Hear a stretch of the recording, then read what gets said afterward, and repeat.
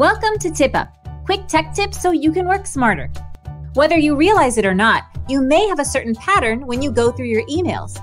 There may be emails you filter to specific folders or forward to colleagues, send prepared replies to inquiries, and more. If you find yourself repeating the same processes when using Outlook, try using Quick Steps. Quick Steps apply multiple actions at the same time to your email messages.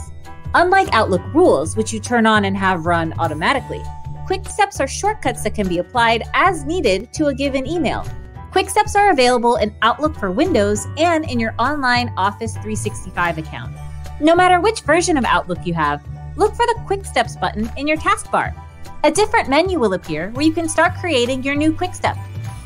Give your Quick Step a name and then choose an action you'd like to have the Quick Step perform. In this case, I'd like to forward certain emails to my manager and then move them to another folder.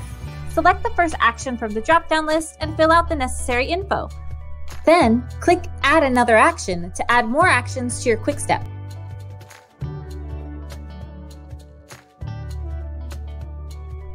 These steps are optional, but you can choose to add a description of the Quick Step and even assign a keyboard shortcut to it. Then, hit Save. The next time you open an email, you'll see your Quick Step available to use anytime you need it. To manage or delete any existing Quick Steps, go back into your Quick Steps menu and select Manage Quick Steps. There are so many tasks you can simplify with Quick Steps, like categorizing and sorting emails.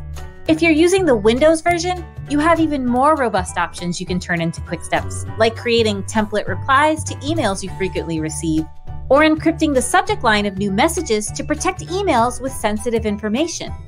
Using Quick Steps varies slightly between the Windows and Office 365 versions. To find out more, visit support.microsoft.com to learn how you can create your own Quick Steps.